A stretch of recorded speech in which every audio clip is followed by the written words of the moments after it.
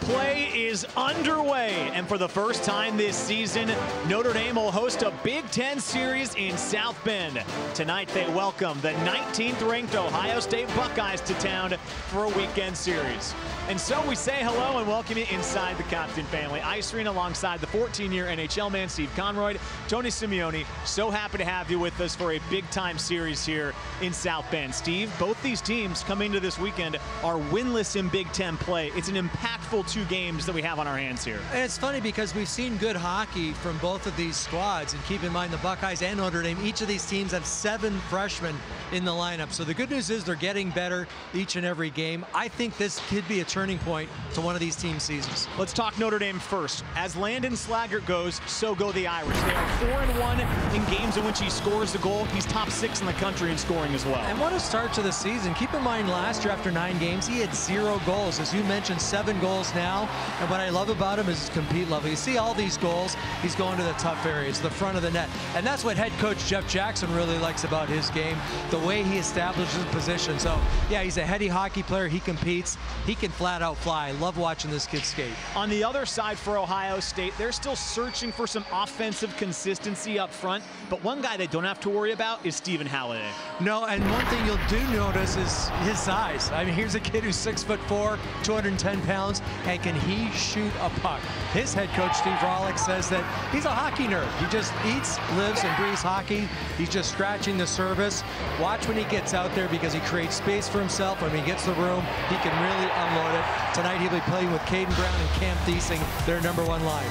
These two teams have a knack for close games. Over the last five seasons, they've gone to overtime five times. We'll see what the Irish and the Buckeyes have in store when we come back. Hard to believe college hockey season's more than a month old, and these are the matchups that you look at when the calendar gets released and get excited about. Notre Dame and Ohio State, game one tonight. In between the pipes for the Buckeyes, Logan Terness transfer from UConn. Save percentage and goals allowed can probably improve as the season goes along, Steve. Yeah, not overly big. He's only listed at six feet, but he's very athletic, covers a lot of the net. On the other side, Notre Dame has their man that they can count on. Reigning Big Ten goaltender of the year, Ryan Bischel. That save percentage again above 930. He is the vision of consistency each and every game. Uh, he gives his chance, his team a chance to win. Puck is on the ice. Away we go in game one of a two-game series. And right out of the chute, here's Halliday with a quick shot on Bischel. Eight seconds in, they've got the puck in the paint again. A rebound try for Stephen Halliday. An excellent start for a Buckeyes team looking for some offense. Their top lines provided that right away. Yeah, and looking for a good start on Friday. Steve Rohlik, their head coach, said, you know, I've loved our games. The second game, the Saturday game, the way we respond, I haven't liked the way we've come out. That's a great first shift. They lost both games a weekend ago against Michigan State. 6-0 in the first game, 6 to 4 in the second game. So they've allowed six goals in all three of their losses this year, looking to improve that side of the ice as well. And a pretty good first 45 seconds from Ohio State to begin this one. That was a nice face-off play right off the draw at the start of the game. And I'm not too sure what the uh, coverage was, but there was a breakdown from the defenseman of the Fighting Irish. Stephen Halliday gets in behind. And uh, that's a great first save by Ryan Bischel. And here you'll see that play right off the draw, and, and he gets the puck. He's in behind the defense. Now that's just a breakdown of communication between Plucinski and Siedem. You don't want to see a guy getting a breakaway six, seven seconds into the hockey game. That's what happened, and Ryan Bischel, big stop there. Halliday's the guy that you highlighted in the open, Steve, as Drew Bavaro winds one up off the face-off that goes wide. Halliday's averaging a point per game through his career. He's now in his sophomore season, 49 points in 49 games played. Bavaro sends it across. Here's a quick shot. Oh, could save that time by Terness. Was out in front, but nobody home, and it's swept to center ice. Nice job by Fischer to get down on his offside. The snapshot low and hard, and Terness just kicked it out. Fischer with that last shot for Notre Dame. Four points in his last four games. Freshman defenseman starting to find his legs in his first month of college hockey. Here's Grant Silianoff off for Hunter Strand as the Irish move into the offensive zone.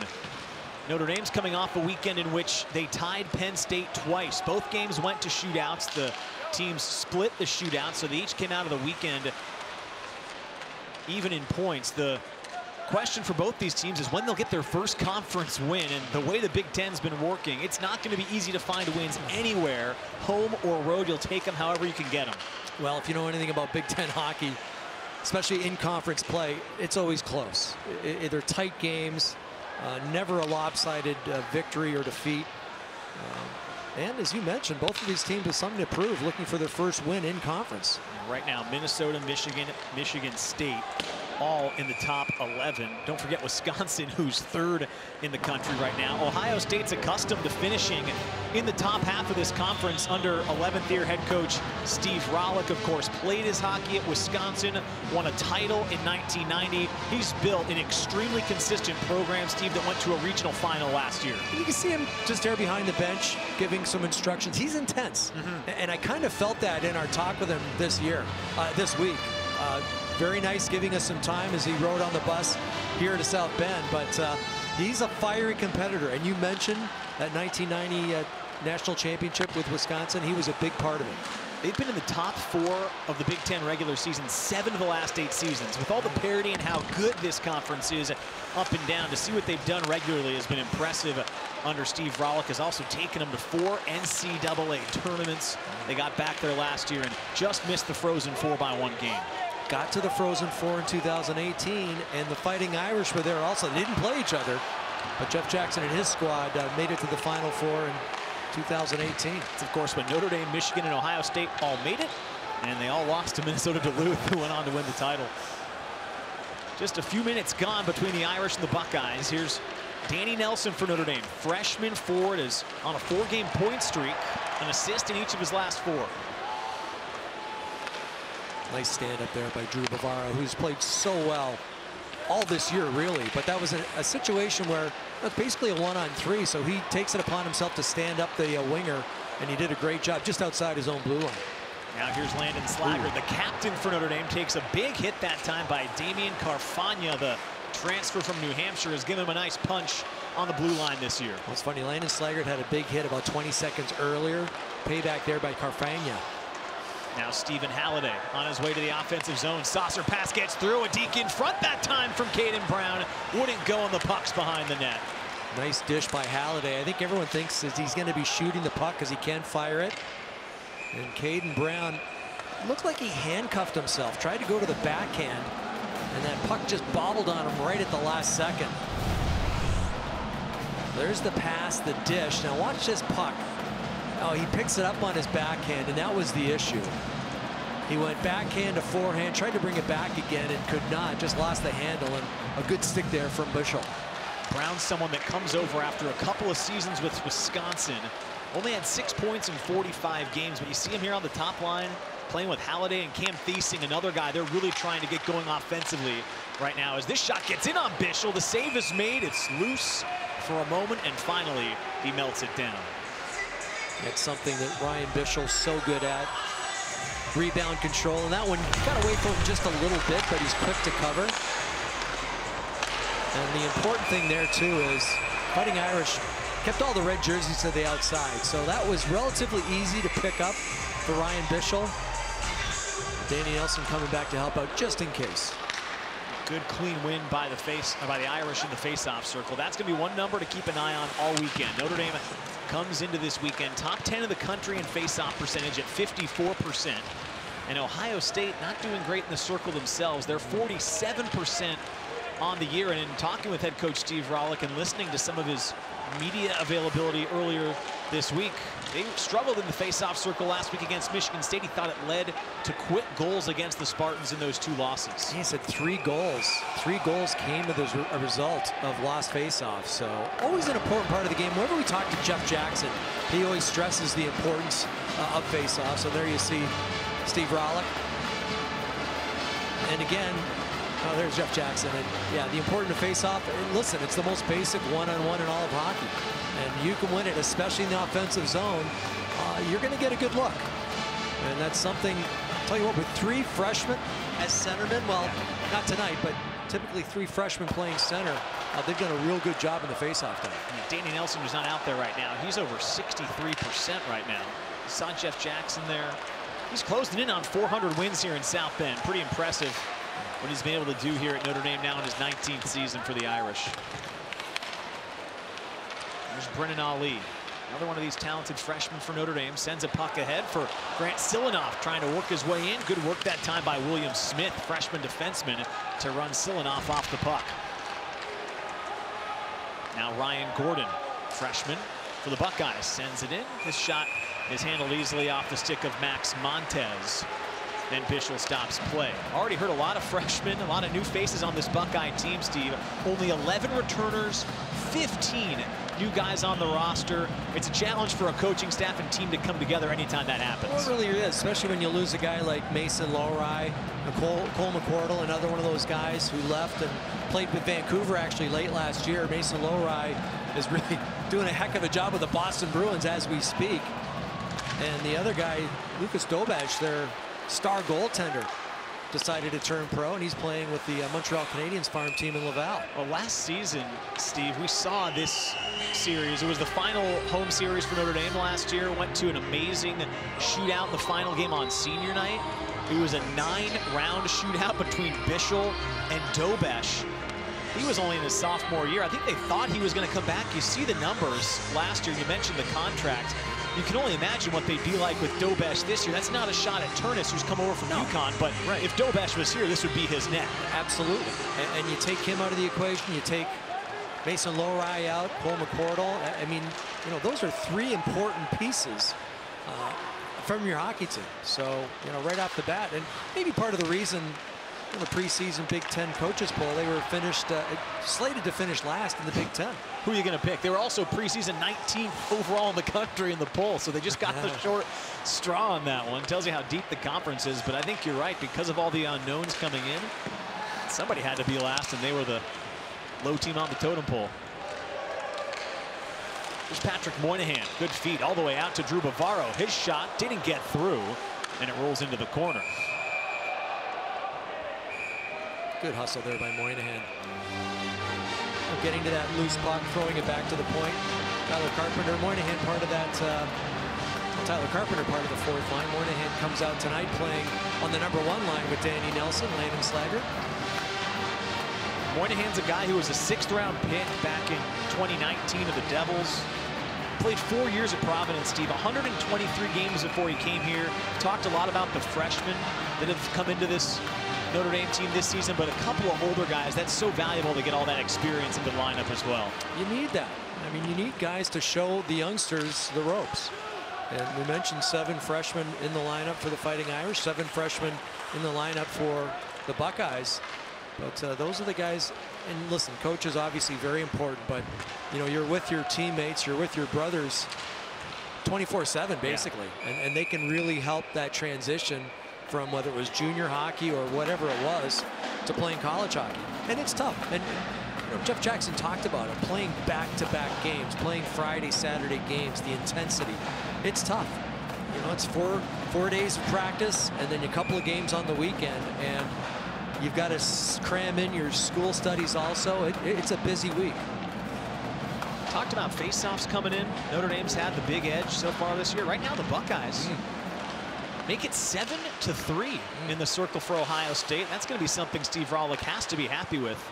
Just a little bit less than seven minutes into the game, considering the way they've not performed on faceoffs this year, going up against a top 10 team on the draws this year. Yeah, that was Stephen Halliday who won that one, the big body who has the puck right now. Reminds me a little bit of Joe Thornton when I see him Ooh. out there. You know, he's a, not quite as big as Jumbo Joe was, but uh, he's a big kid. And that's something, it was a great question you asked Jeff Jackson this week about faceoffs and big bodies. And you're referring to Danny Nelson. Stephen Halliday's a big body. And it's a huge advantage. You stick your head in there. You've got a lot of leverage on your stick. You know, he's up against the smaller uh, centerman out there, Cole Knuble. Knuble did a good job there winning. Off the faceoff, Boltmann drives one. Good to see Jake Boltmann back on the ice. Was out for a couple weeks with an injury. I got to go back to your comment about or about uh, Halliday, though. Is it just because he's 6'4 and wears number 19 that you, think he's Joe Thornton or something? He mentioned his game. Yeah, no, it probably is. You're right. The 19, I wasn't even thinking of that. But uh, Jumbo Joe Thornton, I'll tell you what, just a, a great career in the NHL. Started with the Boston Bruins. Of course, uh, spent a lot of time with the San Jose Sharks. Yeah, amazing career, really. Yeah, it really was. And let's watch this first. Here's Cole Knuble looking for his first collegiate point. Goes over to Boltmann, whacks it high in the air. Puck was loose, and it's held in at the line. Now Justin Janicki for Notre Dame carries it into the corner, and he'll drive it all the way around back for Boltmann. Should point out Cole Knuble did score the shootout winning goal game one in Penn State. That could help his confidence. See if it does right here. He's got the puck again. Shoots. The puck is deflected. And coming out to make the stop easily is Terness. Cole Knuble, of course, the son of Mike Knuble. Uh, Cole was a prolific goal scorer. He played his USHL hockey with Muskegon, born in Grand Rapids, but uh, had a wonderful career with the uh, Muskegon team. It's just a matter, and, and, Jeff Jackson talked about it. As soon as he scores one, he's going to get a bushel for it. Yeah. Jeff Jackson said, too, he was kind of surprised he's the last freshman forward that's looking for their first career point. one thing, he doesn't have a goal. It's another thing he hasn't managed to even find an assist so far this year. Like you said, highly touted recruit coming in, very skilled player. I think they're going to see him start generating offense sooner rather than later. I don't know if you remember, but the end of that first period against Mercyhurst, it was game one. He almost scored. He put it right through the crease, and he's he's getting some looks. Here's a chance from Landon Slaggert. He fires a shot that's saved by Terness. Haven't heard much from the captain until just now. And he's off to a great start this year for Notre Dame. Landon Slaggert does so many things well, but I think it's his skating ability that merely separates him from a lot of his peers, and especially that first stride. Now, some guys are fast once they get going. He goes from zero to 60 in like one second. He, he can just really pull himself away just with those first couple of strides. And you create time and space in hockey, that's when you're going to get some good looks. Slaggert right now tied for sixth in the country with those seven goals as Scooter Brickey walks in and shoots a puck that deflects up out of play.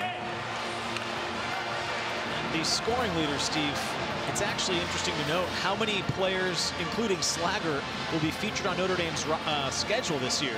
Look at Brindley there at Michigan. Of course, got Boston College coming to town in a couple weeks. They already saw Macklin Celebrini. So if you're in town or you're following Notre Dame, you're going to see some of the best goal scorers in the country this year. Pretty impressive numbers considering most of these kids have only played maybe nine, ten games almost averaging a goal per game. And we just saw Brickey take that shot, the defenseman. He leads this team with four goals. Great hockey name, though, huh? Scooter oh, Brickey? Oh, outstanding hockey name. Defensemen have produced a lot of offense for the Buckeyes as Brennan Ali sends it for Silianoff, whose shot goes just wide of the net, and it's picked up by Hunter Strand. Out across for Plucinski. Now Ryan Siedem's shot is blocked that time by Davis Burnside who got in the shooting lane. Ali's having a good shift here. battling for a puck, a much bigger player. And he ends up with it. Came alive a couple weekends ago for Notre Dame. Picked up his first career goal on an empty netter against Mercyhurst. And he's found his stride as Zach Plucinski takes a spill in his own end. But Buckeyes were in a change, so no harm done as he now finds a way out to center ice. This feed is just out of the reach that time of Matt Cassidy. After a stint with Quinnipiac, joined the Buckeyes a couple seasons ago and back on the ice. Dalton Messina drops it off. Long range shot that time from William Smith. Bischel handles it easily. Puck comes all the way back out to center and there's Brickey once again. Approaching the midway point of this opening period It's been pretty even. Shots in favor of Notre Dame by one right now, six to five as they approach the midway point of period one. Here's Halliday. Great feed for Cam Thiesing, looking for his first goal of the season. Drops it off to the trailer. This time it's Deckhut. Sam Deckhut lost it. Now the Irish can counter the other direction. Carter Slaggert is into the offensive zone. He tried to drop it off for Henry Nelson. It's taken away, and back comes Halliday. Halliday trying to weave his way into the offensive zone, and then it's taken back by Knuble. You know, Wallberg made another one of those long passes to Halliday, almost a 100-foot pass, basically springing Halliday in behind the defenseman.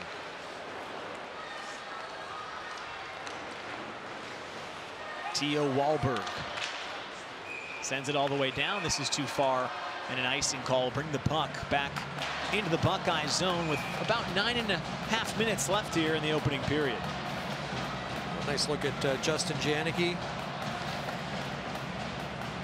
Seven goals and seven assists last year, seventh rounder of the uh, Seattle Kraken. And of course, his brother Trevor and his dad, Curtis. Yep. Longtime Notre Dame player. Got three sets of brothers on this Notre Dame team. Buckeyes have the Dunlaps. Neither's in the lineup tonight. They need to get Joe Dunlap back, but it's going to be a while till they see him maybe end of December in January. Senior who was most improved player a couple years ago for this team. Mm -hmm. For a team that's looking for some more offensive punch up front from the forwards, they would love to get Joe Dunlap back soon. That would help immensely because aside from Halliday, they don't really have any true goal scorers, game breakers. Dunlap certainly fits that category. Cam Thiesing right there, the guy that took a spill. He's been the one to got to get going offensively because like you said 15 goals last year was a big time contributor in that run to the regional final has not yet scored this season it's funny we talked to coach Steve Rollico and he said he loves his game he's doing everything but scoring and when you hear compliments like that you know it's just a matter of time before it comes kind of the same same thing with Mike Knuble in the uh, Fighting Irish Here's Boltmann walking in. Oh, good shot that time, but Terness saw it the whole way. Came out to the top of his crease and made the save easily. 8.35 left in a tight opening period. No score between the Irish and the Buckeyes. No score in the opening period here in South Bend. Tony Simeone with Steve Konroyd. This is what Notre Dame is in the midst of, Steve. That is about as tough of a 15-game stretch as you'll ever find in your schedule. I'd say so far, they're keeping their head above water. This weekend's a big one for them because you just see what's looming. Minnesota, Boston College, Michigan, at Michigan State. There's nowhere to hide going forward. No, the only uh, unranked team, well, there's no unranked teams there. So, yeah, absolutely tough. And another good shot off a face-off win from the Irish. One thing that's worked for Notre Dame, though, is that they're in the midst of playing eight of their first 11 at home. This will cap that stretch of 8 of 11 at home when the weekend is done. Ohio State's on the other side of that. When they're done with this weekend series, they'll have played 7 of their first 11 on the road. So they're probably figuring if we can just get out of here with, obviously they'd love two wins, but a win and a draw, split the series. That's probably a success as Danny Nelson weaves his way in and his shot deflects wide. Yeah, good stick by Johnson because he might have been beaten just a little bit with that dipsy do from Nelson, but right at the last second gets his stick out in a deft little redirection. There's Nathan McBrayer, freshman defenseman.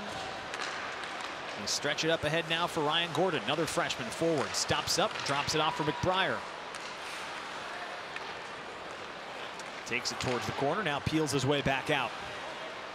At the line, Montes spins and throws it down low. That's again three freshmen on the ice. Youth injection here in Columbus as the Buckeyes go to work with some freshmen on the ice. Strand in the corner for Notre Dame had it taken away by Montes. Backhands towards the middle that time.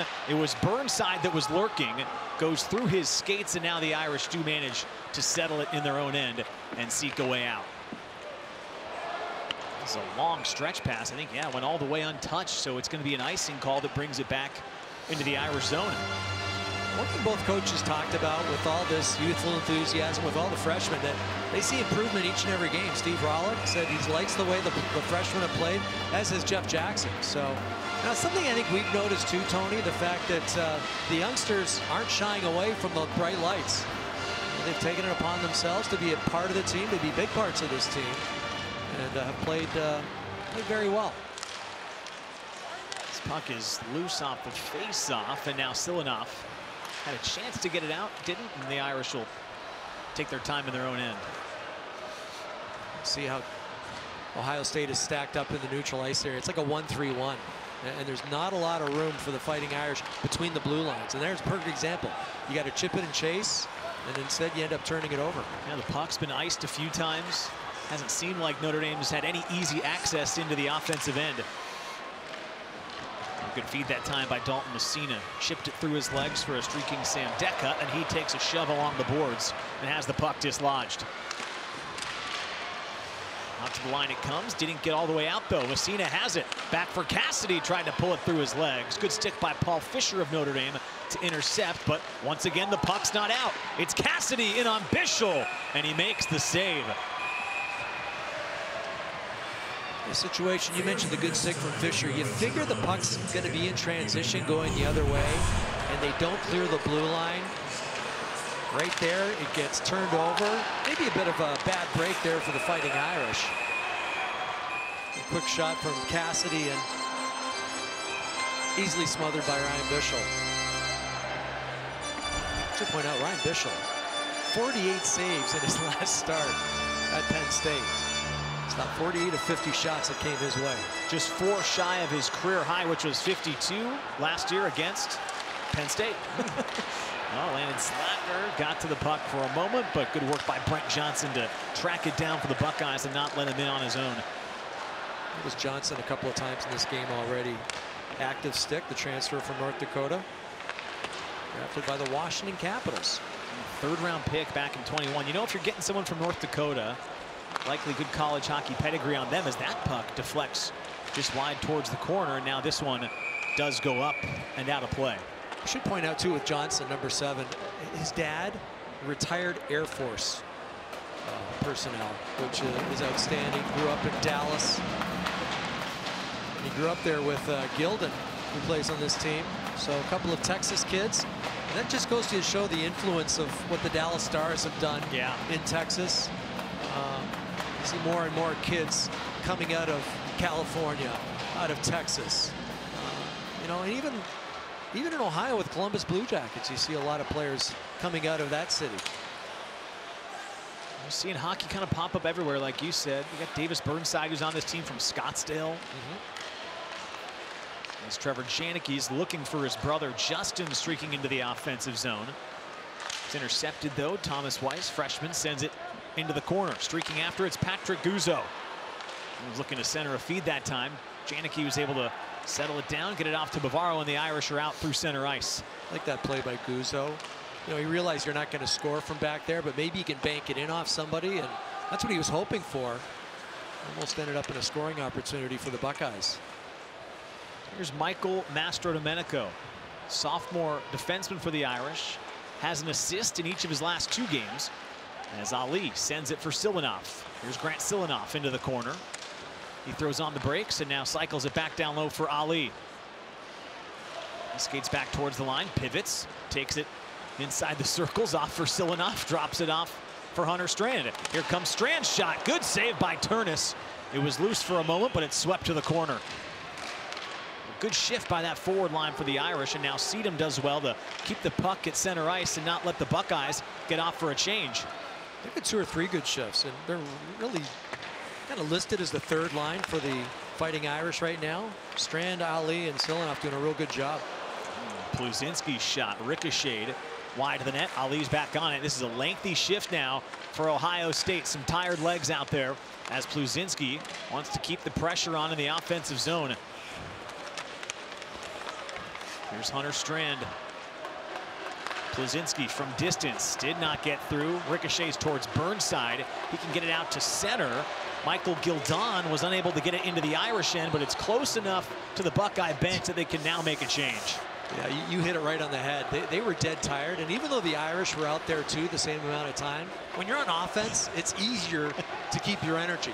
When you're defending, I don't know what it is, but it's just so much harder when you don't have the puck. Maddox Fleming, who's been playing very well for Notre Dame, tied for the team lead in points, sent one out to Henry Nelson. This shot goes all the way wide, comes back around, and now the Buckeyes are able to skate it free.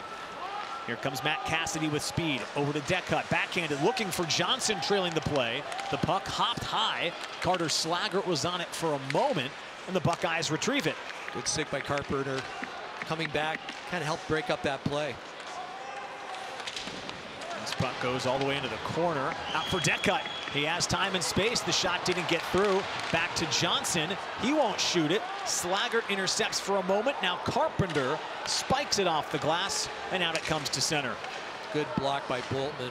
Took one for the team high in the shoulder. Now Cassidy in on his backhand, and Bischel read it the whole way. Came out to shut down the angle and stop it. Ryan Bischel now, that's eight or nine saves for him, which is under his average, but something we've seen throughout this period, just the rebound control. And typically you don't want to put it into the bread basket. Cassidy was just trying to go upstairs with it, but right into the uh, crest of Bischel. Here's Brickey, holds it in at the line. Scooter Brickey walks in, shoots. Got a toe on it, did Bischel that time. But Montes, first one to get back to it. Off for Brickey, across it goes, looking for Montes again. He couldn't corral it, and Danny Nelson can clear for Notre Dame. Brickey, I think, was looking for a redirection in front. Burnside was just off to the side of the net, and I think that's who that pass was intended for. Paul Fischer in his own end being harassed by Burnside. Almost taken away. Now the puck's loose behind the net, and there's Montes again. Some good early shifts from the freshman Max Montes. Carfagna across for Brickey, looking for a redirection. It does get tipped towards Bischel. He's able to keep it out. Carfagna holds it in as the Buckeyes are in the midst of their best shift. Burnside in tight. Bischel able to slam the door shut and keep him out. Some extended zone time there for the Buckeyes. It started earlier, though. Brickey with a nice move at the point, and then he's trying to spot Burnside. Can't quite get to him. Good job by Bavaro to kind of spot that. Realize that Brickey was looking for somebody to deflect it. And a really good job by Bischel, too, to kick that pad out and get the puck out. 90 seconds left in the opening period. But an entertaining, disciplined hockey game. No penalties taken so far. No real dangerous odd man rushes. I actually imagine, Steve, both coaches are probably pretty happy with the structure both teams have shown. Yeah, aside from that early partial breakaway from Halliday seven seconds into the period, right, yeah. you're right. There hasn't been a lot as far as odd man rushes. Here is Halliday. Drops it off. This shot gets in on Bischel. Stops it easily. Kicks it towards the corner. And now Trevor Janicki is able to skate it into the neutral zone for Notre Dame. He's out there with his brother, Justin Janicki. Now tried to send it across for Knuble. Went through his legs, and back come the Buckeyes. Halliday for Thiesing. Big hit by Mastrodomenico Stood him up with the puck, and now Notre Dame comes back. They can work on a three-on-two. Janicki off for Knuble. Back for Justin Janicki, and the pass was behind him. Situation, I think Cole Knuble has to shoot the puck, and it's hard as a freshman. You know, you, you want to be setting guys up, but sometimes you got to be selfish and just call your own number take it to the hoop yourself. 25 seconds left as the Buckeyes stretch one ahead. Ooh, Thomas Weiss, if he's able to collect that puck, he had some real estate to work with. Final 10 seconds. Jake Boltmann's in his own end. Irish don't seem too intent on breaking it out. Well, now Mastrodomenico will. Final seconds, he'll fire it all the way on Terness. He'll just glove it towards the corner. And that'll bring an end to the first 20 minutes. Nearly identical in shots. Ohio State had the 11-10 edge at the end of 20 minutes, Steve. No score. No, but an entertaining period, even though there's no numbers up on the board. Uh, some end-to-end -end action, some really good saves from both goaltenders, and typical Big Ten hockey. During the opening intermission here in South Bend, we'll have a chance to look back at some of the highlights and stats from the first period, and you'll hear my conversation with Notre Dame associate head coach Brock Sheehan about his return to Notre Dame. Entertaining first 20 between Notre Dame and Ohio State, but no score here at the Compton Family Ice Arena. No score in South Bend between Ohio State and Notre Dame. It is officially a sellout, though, here inside the Compton Family Ice Arena. Great environment. Happy to have you with us for what's been a really, I think, entertaining first period of hockey. Tony Simeone, Steve Konroyd here after 20 minutes. Maybe the score is not what the fans want to see as far as the light not being lit so far, Steve, but I think it was a really strong period, and overall, both coaches probably happy with the way it's gone as well. We're talking about November, but it has kind of a playoff type feel to it, and both of those teams have yet to win in the Big Ten, so it means a lot to both squads. Yeah, they play tight to the vest, but it was still very good, You're very good, entertaining hockey. Let's look at the best scoring chance of the entire first period. It came right as the game started, eight seconds in off the faceoff. Buckeyes had a great look. Yeah, Halliday wins it, and then watch the centerman Halliday just kind of drifted behind his check. That's Danny Nelson. The two defensemen had spread out thinking the wingers were possible receptors. And uh, Halliday not only had that first shot, he had a wraparound attempt also. So, you know, not the way you want to start a game, but certainly a great first save by Ryan Bischel, who's been outstanding this year. Uh, aside from that, that was basically the only breakdown for the Fighting Irish, maybe aside from a couple of extended uh, shifts in their own zone. So you see the numbers here. Look how even it is as well. Each team with double figures in shots.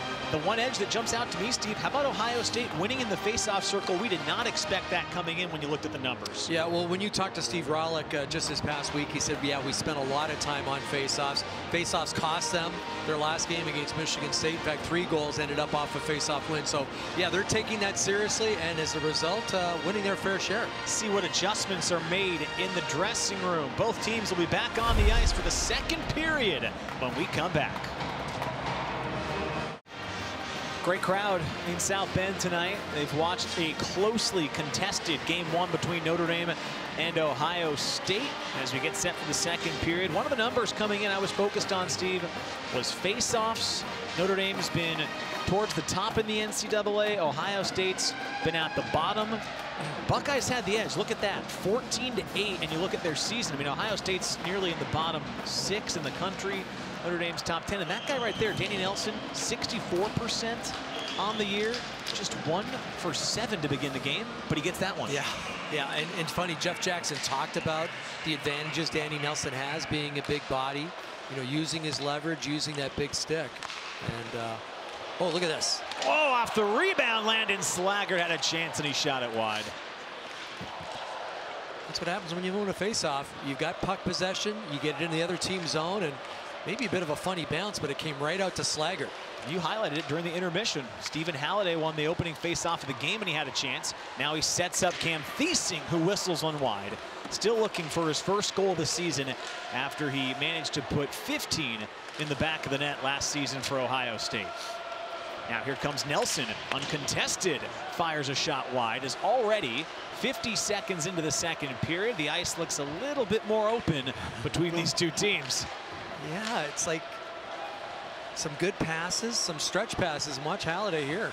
Oh, so fun to watch as he skates in, gets a shot on net. Then the rebound try that time was whacked off the pads by Gildon. Comes out to the line as it's shot wide. Gildon's there again to reload it. Out to the line for Mason Klee. Well, that's the thing with Halliday. He always draws attention, and even though he got the shot off, Gildon picked up the rebound, was wide open. Great second save there by Bischel. Gildon shoots again from a wide angle, and Bischel makes the stop. Then some pushing and shoving.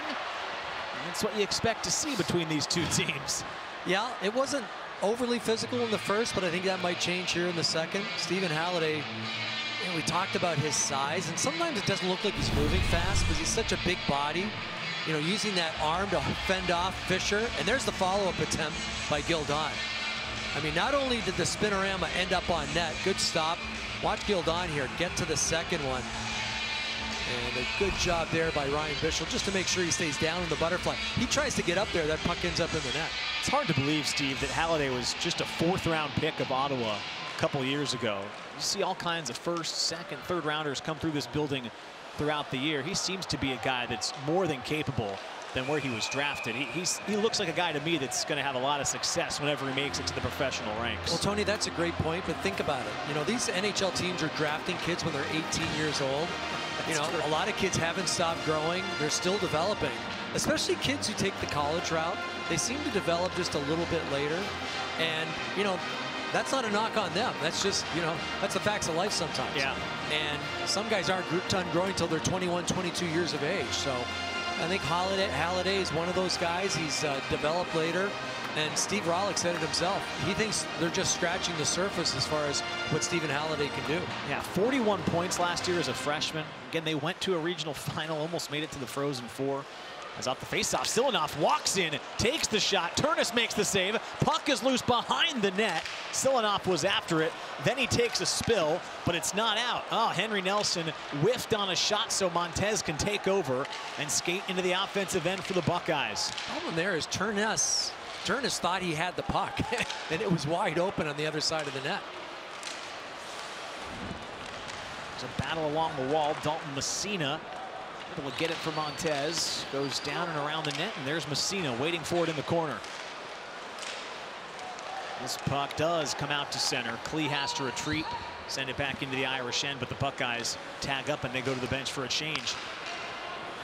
It allows Ali to skate into the offensive end. Brennan Ali drops it off for Siedem, navigates through traffic. Siedem shot, saved, rebound, Carpenter, he scores. Notre Dame's got the lead. Well, good things happen when you go to the net. That's what Tyler Carpenter does each and every shift. But watch the job Brennan Ali does. This is a one-on-four. So what does he do? He buys time. He button hooks right there, gets it back to the point, and watch 28 in front. Even though he's got a guy all over him, he fights for position. He gets his stick loose. He battles a much bigger player. And a great job there by Tyler Carpenter. That's a big first goal by the fourth line. Tyler Carpenter just continues to find the back of the net. It's his third goal of the season. He's provided a real punch, as you said, Steve, kind of on one of those bottom lines usually, and he keeps showing up for Notre Dame, specifically at home. All three goals have come in this building this year. You know, he just brings energy, and he's on the body. He creates turnovers. He's good in his own zone. He's good in the face-off dot, and he's loved by his teammates. And, you know, that obviously gets the bench into it. Maybe more importantly, gets the crowd into it. A good first period, but there wasn't a lot to cheer about. And now we got some excitement in this building. And Tyler Carpenter leading the way again. You know, Siedem was looking for a redirection from Carpenter to begin with, but he stuck with it. He stuck with it. And that was Messina, who he ended up out battling in front of the net, the graduate student. And he gives Notre Dame that 1-0 lead. I've mentioned it before, but I'll say it again. Tyler Carpenter pretty close with the uh, Savard family, Denis Savard in Chicago. In fact, Denis Savard is Tyler's godfather. Yeah. And they both play center, and uh, I'm sure Denis had some advice for him. He's used it well so far this year. Jeff Jackson, we talked to him a few weeks back, said good, hard, smart hockey player, knows what to do and when. Mm. That certainly looked like it right there. So now let's see how Ohio State responds. Of course, they're coming off a weekend in which they lost a pair of games against Michigan State, allowed six goals in each. They're in desperate need of a win, and now a chance to respond to Notre Dame's opening tally. Here's Drew Bavaro for Notre Dame. Offensive-minded defenseman takes it behind the net, finds Trevor Janicki, who had snuck behind Thiesing, but he can't connect cleanly. Now it's back for Fischer. His shot is blocked. Good work by Halliday that time to get in the lane. But Bavaro's right back on it.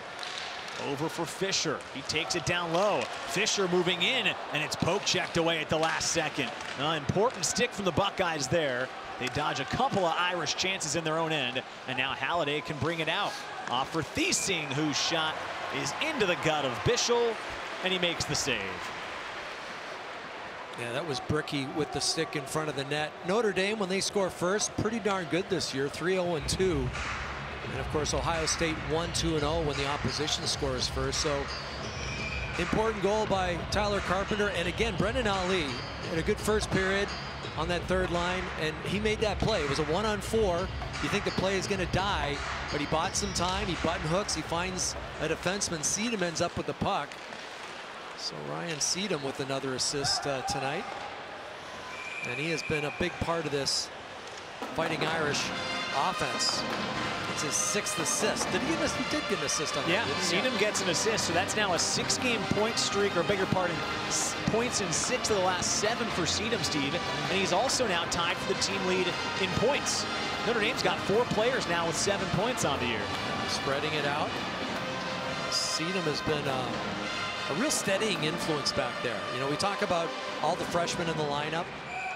You know, Ryan Siedem comes in as a graduate student. He's a big body, it's 6'3", 200 pounds, but he just settles things down back there. And I want to say he's maybe assisted on two or three of Landon Slaggert's goal. He and Slaggert have a lot of chemistry. Well, we talked to Jeff Jackson at the start of the season. Said he was going to bring great poise, has great instincts.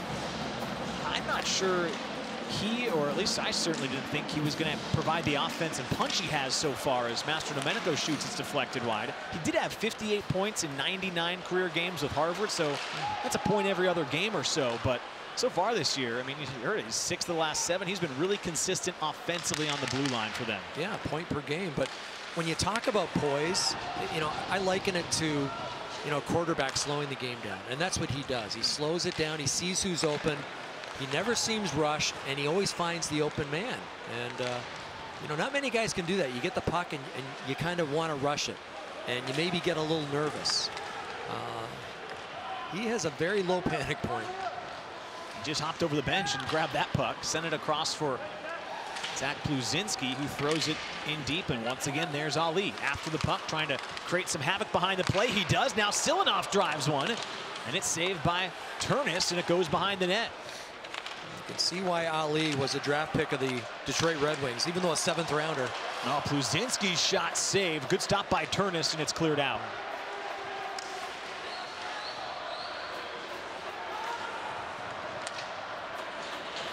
Up ahead for Strand. Hunter Strand's shot in on Terness again makes the save.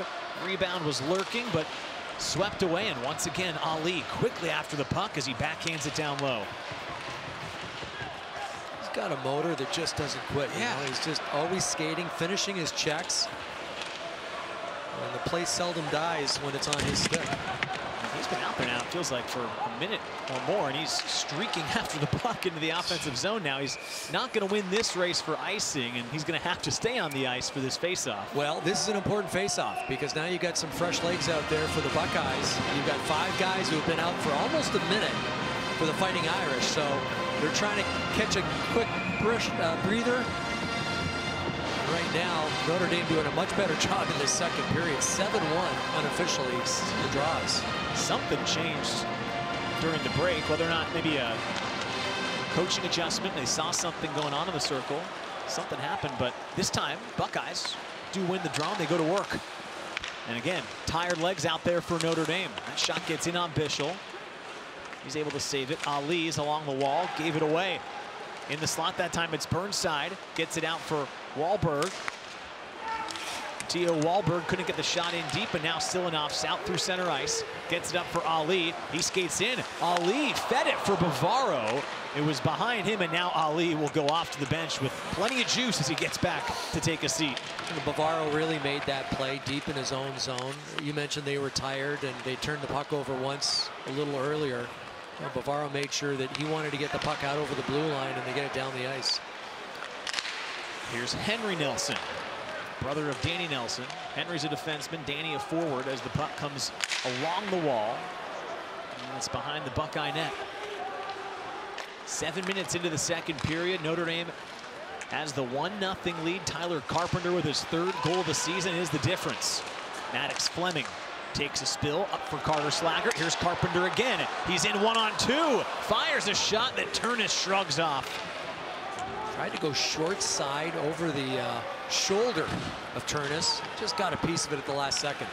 Patrick Guzzo puts on the speed. Here's Guzzo with his backhand. Bischel makes the first stop, and he keeps the door shut. Best opportunity for the Buckeyes in this period, and it looks like they're taking a penalty. Oh, Big hit in the corner on what, Slaggert? Carter Slaggert. I think Gildon's going to have to sit. You never want to take penalties in the offensive zone. No, and especially after a real nice rush from Guzzo. Didn't realize that big number 71 had that kind of speed. Gildon, though, ended up finishing off Carter Slaggert. Referee's talking it over. Ohio State has a penalty for a minor on the ice. The gate is under further review. Oh. Yeah. So they're going to review it, seeing if it was a headshot or not. I'll be honest here, I, I did not see this hit in real time. Now that's that's fine. It looked like he went between the shoulders, like almost in the chest. Right there. And then the head snaps back. And I can see why maybe one of the referees thought it was a, a high hit contact with the head. But from that look, from that first look, it looked like it was a good hit. Yeah, it wasn't a good right. hit. I mean, it's going to be a penalty. It's going to be a two-minute minor, but it wasn't a headshot. I think you're right. I think it was because of the way that the, you'll see here, the way that Carter Slaggert's head snaps back makes it look a little worse than it is. Yeah. But the primary contact was nowhere near the head, at least from, from my stand vantage point. And it's a quick review, so uh, call on the ice stands. Minor penalty for elbowing. Yeah, call on the ice stands. Minor penalty. Elbow was it? Yeah. Yeah. So he got the arms up a little too high. First penalty of the game taken by either team, Steve. Almost got halfway through the contest before they take it, and now a really important power play for a Notre Dame unit that's four for their last 13. They're trending in the right direction. And this Buckeye penalty kill, I'd say it's slightly below where they want to be at 78% before the game. Yeah, they allowed a couple in that series against Michigan State. And of course, the Irish they played last Saturday, Sunday at Penn State. Saturday, they had a couple of power play goals. Sunday, they just won power play attempt, but they had five shots. So as you mentioned, yeah, trending in the right direction. Seven for 35 on the year, 20%. Now they go to work. Knuble out for Siedem, just assisted on the Carpenter goal. Sends it over to Trevor Janicki. He slides it all the way across to his brother Justin. That came out, and that'll be a Face-off that comes out into the neutral zone. There are the numbers and how they stack up, so you can see, I mean, they're both in the middle third of the country. Both would probably like to improve in, in both of these categories as they move throughout the season. Yeah, but, but I like what Jeff Jackson had to say about his power play. He, he thinks it is getting better. He said, even when we don't score, I like the momentum we're creating. Um, and chemistry is so important for a power play. And you don't want to be changing it up just because you don't have a successful power play. For getting looks, give them another chance. Irish looking for some more chances here as Justin Janicki's shot just goes wide. Strand had it for a moment. Good work that time by Burnside to knock it free, but it comes out to Siedem. Here's Siedem across for Knuble. Moves his way in, holds, shoots, and Terness may have just gotten a piece with the knob of his stick. Exactly. I, I like that play by Cole Knuble, though. You know, he hung, hung onto it, changed his angle of attack, and got that shot off. Knuble still looking for his first career point.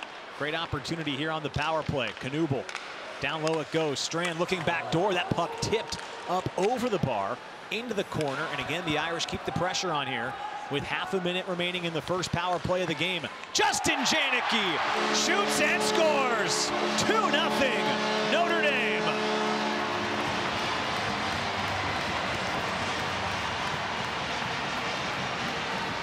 Well, that's a great shot. I don't think Terness saw it. There was some traffic in front of him. That's an excellent shot from Justin Janicki, though. He absolutely ripped this one. Watch number eight set up. He's got it now. He throws it back to the point. He's going to get it again around the top of the circles and walk in. And yeah, there was two red jerseys right in front of Terness. You'll see from this angle, I don't think he saw it until that puck was by his shoulder. But that's an excellent release from Janicki. You see his head up the whole way. He picked his spot. He hit it. That's his second goal of the year. Had a goal against Boston University earlier this season. Had seven goals last year. He's now got his second this year. So the Irish are now five for their last 14 on the power play. And how about this, Steve? The assist you mentioned, too, as they reloaded it, it came from Ryan Siedem. So he once again sets up the goal. He's got the primary assist on both Irish tallies here in the period, and now a 2-0 lead for Notre Dame. It's great when you can have a guy back there who settles things down, and that's exactly what Siedem does. And there's been a huge turnover on this team, and Jeff Jackson talked about, you know, it's so important to have poise back there, and that's something that Siedem has. And Siedem now is leading the team in points by himself. He's up to eight with another assist. That'd be his seventh assist of the year and just keeps finding a way to create offense for this team from that back end. Well, he comes from an athletic family. His dad was a golfer at Rollins College. His mom played lacrosse at Colgate. His brother played hockey at University of New Hampshire. Well, it makes a lot more sense now. Golf and lacrosse, those are some transferable hand-eye skills that could set you up for a hockey career. And I left out his sister. His sister plays field hockey at Brown. So, yeah, Those athletic genes run very strongly in the Siedem family. Everyone liked to hold a stick and swing it in that family, too. Irish feeling good about themselves right now. Again, both Notre Dame and Ohio State looking for their first wins of the season. Notre Dame tied last week. Ohio State, I mean, let's be honest here, it's been tough. They had to play Michigan and Michigan State. Those are two teams in the top 11 in the country. They're 0-3 and 1 in Big Ten play. That's why it feels like in, in this weekend series, there's a lot on the line for both teams because it's not going to get easier as you go through the Big Ten. So any chance to pick up points is one you have to grab. We mentioned in the open, I think this could be a turning point for whoever wins it. Yeah. It, it could be something that like a springboard into a little bit of a a run, uh, a winning streak. Great for your confidence. As we mentioned before, neither of these teams have won in the Big Ten yet, although Notre Dame just played two Big Ten opponents so far. Notre Dame's got Print, or beg your pardon, Ohio State's got Princeton next, then Wisconsin, who's number three in the country and undefeated in the Big Ten. As Jake Boltmann chips it in deep, Landon Slaggert, captain for Notre Dame, is after the puck. Able to avoid a hit that time by Carfagna. Now Danny Nelson pulls it off the wall for himself. Slaggert's got it, throws it off the wall for Mastrodomenico. He centers towards Moynihan, gets it back, and now Strand will control it. Irish playing keep away here in the offensive end. As that puck's intercepted by Caden Brown. The Irish won't let them out. Thiesing lost the puck. Halliday tries to take it back from Strand. He holds onto it, shoots. Terness makes the save. Rebound was lurking, but nobody waiting for it for Notre Dame. Strand with a real good shift here. Doing a good job protecting the puck. Halliday tried to knock him off it. And uh, Halliday's a big body. Strand did a good job of making sure he didn't turn it over. Eight minutes, 53 seconds left in the second period, and the Irish have jumped in front. They've got a 2-0 lead thanks to Tyler Carpenter. He gave them the first one, and Justin Janicki with the second. Notre Dame and Ohio State in the midst of the second period here. Ohio State's only lost three true contests this year, Steve. And their losses, you can see the results. They've given up six goals in all three mm. of their losses this year, at least three. You see the 7-1 loss against Michigan, and then last week the two losses against Michigan State, they allowed six. Now it's only two tonight, as this one's given away to Hunter Strand, and Terness has to come out and make the save, but it's been one of those things where when it's gone bad, it's just gotten worse for them at times. And, and this is a real point in the game and the season, really. They got to find a way to dig out of this hole. Yeah, that was McBrayer who just on his backhand threw it right up the middle. And, and that's a costly, could have been a costly turnover. But we mentioned it before. It's worth stating again. Seven freshmen in the lineup, although there's seven freshmen in the lineup for the Fighting Irish also, but seven freshmen in the lineup for this Buckeye team. And uh, you're going to make mistakes. You got a lot of young guys in the lineup. There's going to be some mistakes made. Siedem again sets up Plucinski this time, and Strand tips it just wide. And Steve Rohlik and his staff have seen it all, though. They've been so consistent over his 11 years now here in Columbus. I can't imagine there's any panic here at this point in the year. Went to the NCAA tournament last year, got down to the final eight teams left standing. Been to four total tournaments. And now the puck comes through center as Silianoff had it taken away. Montes, good work by the freshman. He's looked sharp tonight into the offensive zone. Skates in one on two, takes it into the corner, takes a shove in the corner. Now the puck squirts back onto the stick of Justin Janicki for Notre Dame. Oh, good takeaway that time, though, by Ryan Gordon. Then he backhands it for Weiss. Down low for Montes. Again, all of those names freshmen going to work for the Buckeyes. Yeah, you mentioned Montes, and uh, interesting, his dad from Venezuela. And they got their first taste of hockey when he was living in Wisconsin. His dad took him to a Wisconsin game. That was a great note they had on him. Don't see that all the time. See someone from Venezuela come win the game of hockey in Wisconsin. Now his kid's here playing for a guy that played at Wisconsin and Steve Rohlik, who runs the show at Columbus for Ohio State. As Trevor Janicki shot deflects up high and into the second level here to stop play. Well, that's the thing with Steve Rohlik. You know, it's it's all about energy. And you talked about the national championship Rohlik won at Wisconsin. That was in 1990. He played there from 86 to 90. And that's a young Steve Rohlik winning the national championship. You know, he had an opportunity. He wasn't on the national championship. Tony Granato, I believe, was on the national championship team. But Tony Granato, he played with as a freshman. Uh, Mike Richter was at Wisconsin when Rohlik was there. So he played with some some pretty heavy hitters in the NHL. How about this? He was a two-time captain for that Wisconsin team as well. Mm -hmm. I mean, talk about a guy that has seen it all as a player and a coach at this level. Explains a lot of the success they've had at Ohio State under his watch. Bavaro sends it for Fischer, Tried to go all the way across that time from Moynihan. He recovers. Bavaro goes to work. That shot blocked that time by Brown. Slaggert's right back on it. Notre Dame's looked really sharp this period, yeah. Steve. I think five on five in particular. As Bavaro has another chance. Save made. Nelson's rebound is kicked out by Terness. Two big stops by the Buckeye netminder. And now a penalty coming up on a hit in front of the net. Yeah, Landon Slager went down. Oh, and the misconduct to Halliday, something they can't afford. You know, what's happening right now, the Fighting Irish defensemen are wide open. And the forwards are realizing that. They're getting it back to the point. They're reloading, getting it back to the point again. Let's listen for the call. Ohio State, number 18 or 28, two minutes for roughing. Ohio State, number 19, 10-minute misconduct for abuse of officials. Abuse of the officials, a 10-minute misconduct for Halliday. I believe it was Gildon, was it 18, with the roughing penalty. Watch the front of the net. And there you see the takedown. And that was number 28, I believe, Smith. Yeah, that's Smith, the takedown. That's the roughing call.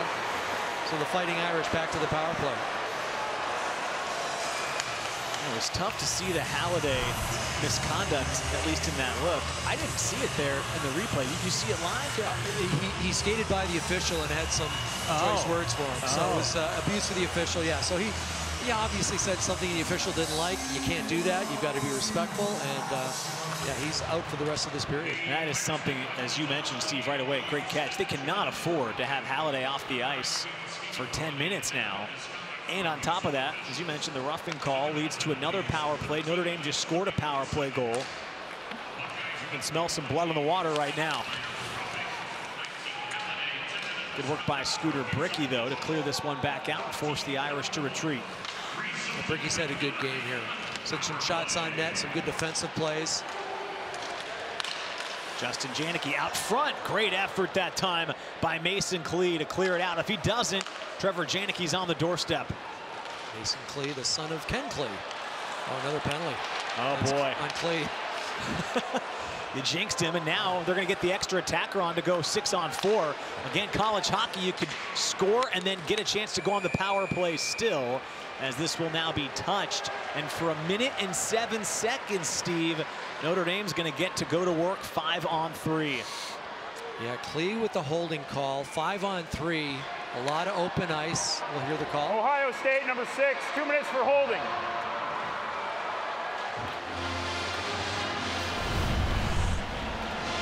And that's Klee right there. Oh, it didn't seem like much maybe from another referee was. It looked a little differently. So Klee with the penalty.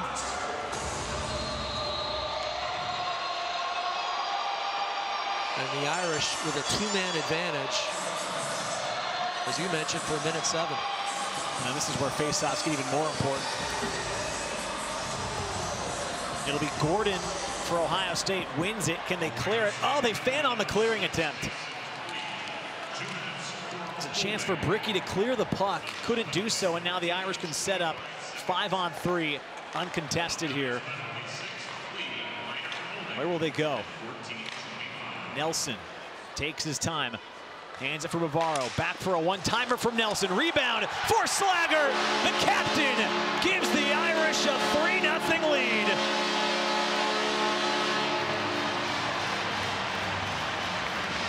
I feel for Logan Terness. He made an unbelievable stop on the first shot. It got redirected just about 10 feet out. But he got his pad on it. Landon Slaggert, though, always in the right place, right time. That got deflected by his own man. Broke a stick, actually, of the forward. And that was Gordon. But Slaggert didn't get it the first one, got it the second one. And you see Terness trying to get his glove on it, ended up losing that catching mitt. And Landon Slaggert, his eighth Ohio goal State, of the year. timeout. Timeout from Ohio State as well. Steve Rohlik, I think, understands he's got to slow things down for his team here, who are still going to be on the penalty kill. That was a five on three. There's still a minute and 37 left. And you see the number right there. They've been so good when Landon Slaggert scores. He's now within one of the nation's lead in goals, Steve. This guy, he's already got more goals this year now than last year. He's playing like the third round pick they expected when they brought him on campus three years ago. Yeah, well, you know, when we talked to him between periods, and it was probably three weeks ago, we, we asked him about last year and how it must have hurt. And he said, I learned a lot from it. It, it was embarrassing.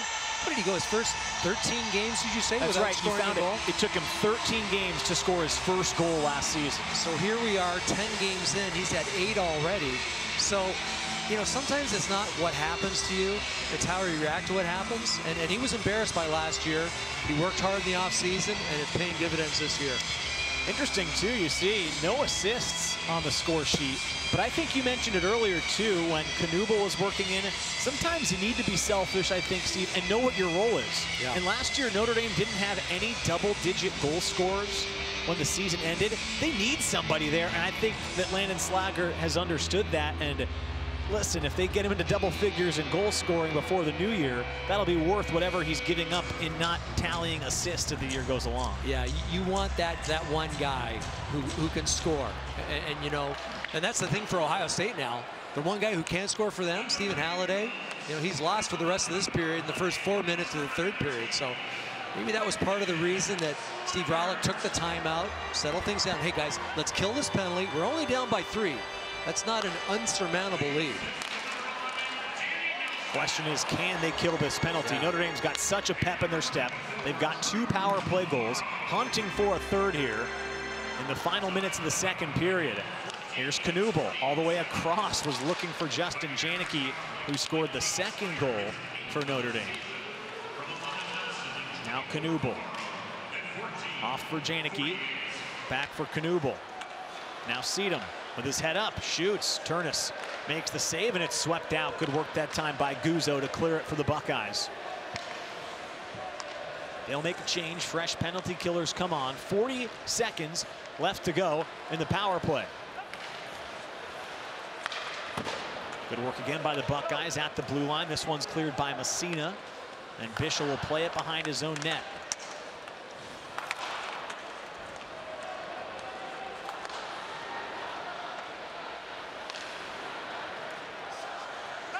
Here's Nelson into the offensive end.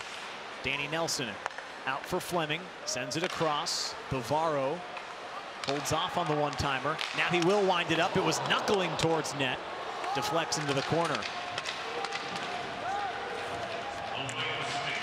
Penalty has expired. Teams are at full strength now. They're back to five on five. Bavaro across for Nelson. He'll wind up the one-timer. Good save by Terness. He keeps it out, and back it comes through center ice. You know, when you look at the goals, you can't really blame Terness for any of them. I was just about to say, Steve, I feel like he's played a really solid game in net for the Buckeyes. The score is not reflective of the way he's played tonight. Good feed by Montes for McBrayer. His backhanded feeder, his feed rather, back door. Nobody home. Silianoff takes it away. A pass through the slot comes out for Brent Johnson. It's a little play, but a big play by Silianoff. You know, coming back hard, getting his stick in the passing lane just to upset that pass. Nick McBrayer's shot again goes wide. Off of the puck is Gordon. Now it comes back into the Irish end. Johnson tracks it down. You get the sense it's an important 2.35 left now for the Buckeyes to, if nothing else, get some momentum headed back into the locker room before the third period. Watch for their D to get involved. And we mentioned, you know, Brickey leads this team in goals, so he'll be jumping up on the play. You know, all these Buckeye defensemen, if they get the opportunity, keep an eye on them. Terness gloves this one, doesn't want to take any chances with two and change remaining, so He'll wait for a face-off. Shots were pretty even after one. It's now all the way up to Notre Dame in front, 31 to 19 in shot attempts. Yeah, that's uh, that's pretty one-sided right now, that second period. Of course, the two penalties, I guess that's three penalties, right, that they took yeah. in this period? Yeah. Yeah, the Buckeyes. That certainly doesn't help. And still, if you're just joining us, Halliday, their leading scorer, easily one of the most talented players, 10-minute misconduct had to go off with less than 10 minutes remaining in the second period. He can join the action a few minutes into the third when they come back out. Mastrodomenico skates it through center. Across the line, he'll shoot. Good hard shot on Terness that almost got his own rebound. Tipped up over the crossbar. And it comes back in front of Terness where he can stop play. The Irish defenseman really getting involved. That time it was Mastrodomenico who jumped up on the play. Real nice shot. I like the fact that he followed his rebound. He wasn't a spectator after he shot it. He shot it, he kept going to the net, beats Carfagna to the puck, almost got the second attempt. That's a guy, Steve, Michael Mastrodomenico, that's looked much improved here in his sophomore season. You see that jump sometimes, freshman to sophomore. Only played 22 games last year. He's only been out of the lineup this year when it's been due to injury. He just keeps growing in his second season on campus. Well, he's got all the tools to be an effective defenseman, great skater. He's got good size, six feet, 210 pounds. So he's a strong body. Played the World Junior Championships last year, too. One goal with Canada as this puck comes into the Irish zone. Siedem's there, takes a hit from Thiesing. That is really somebody. The Buckeyes have got to get going offensively. 15 goals last year, and now it's chipped out the other direction. Hunter Strand's going to get there first for Notre Dame. Good work that time by Wallberg to skate back hard, but now Ali's onto the puck for the Irish. Now a penalty. Yeah, you know, it, you battle for position in front of the net. That's what Landon Slaggert was doing. Unfortunately, he got his stick up on Messina, number 14. And Messina centerman trying to cover Slager. Slaggert Notre got the Dame, stick number up. 19, two minutes for roughing. Roughing's the call. He got a stick up into the chops of Messina, so this is an opportunity. And watch 19 in front. Slaggert goes to the tough area, getting held, so he gets his hands up. Messina does a good job of going down kind of easily. And why not? You've had three straight penalties called on your team. See if you can't draw one. He does. And this is a real big moment in the game for the Buckeyes. 115 to go here in the second. Power play has been an issue for them throughout the year. They were four for their first, first 33, but they did get a couple of power play goals in the most recent game against Michigan State last weekend. They would love that to carry over here into this final minute of the second and portion of the first minute to begin the third as they need a jolt offensively. Into the offensive zone they go. Wallberg across for Caden Brown. Takes the shot, didn't get through. Silianoff's there for Notre Dame to clear, and it's all the way back into the Buckeye end. It's amazing what happens when you get your stick into a shooting lane. I don't know if it was Silianoff or Bavaro, but you know that shot coming in from the point, they just get their stick into that area that the puck is traveling, and they block it and get it down the ice. Thiesing off for Montes. Wow, good work. Trevor Janicki hit the line, broke it up, and cleared it as well. See Paul Pooley behind the bench applauding that individual effort there from Trevor Janicki. Paul Pooley coaching against his former team tonight. There's finally just seven seconds left. Montes whips a wrister just wide on the short side. Puck goes behind the net. That's going to do it for the second period. Notre Dame scores three goals in the second, Steve, to take a very comfortable 3-0 lead into the locker room after two. Yeah, Tyler Carpenter got the ball rolling early in that second period. It got the fans into it, got the bench into it. And uh, yeah, for most of that period, really dominated the Buckeye team. The second period, Notre Dame outshot the Buckeyes by a substantial margin. During the intermission, have a chance to see what Notre Dame fights for, and then an interview with Ryan Siedem. We'll talk to the guy right there. They're filling him in. That we're going to talk to him about the pair of assists he had in the second period. Notre Dame with three second period goals, the most recent from the captain, Landon Slaggert, his eighth of the year. Second intermission here in South Bend. Notre Dame's got the 3-0 lead. We're now joined by Ryan Siedem. Ryan, really strong period from you guys, three goals in total. What was working well for you guys in that second 20 minutes?